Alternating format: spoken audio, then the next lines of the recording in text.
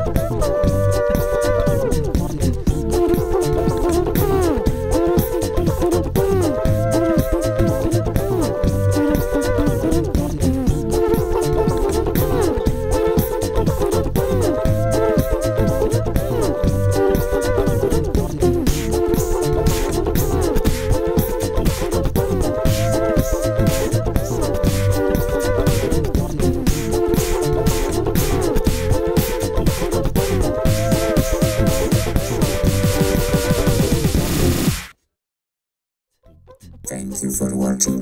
Please subscribe Dartmouth channel.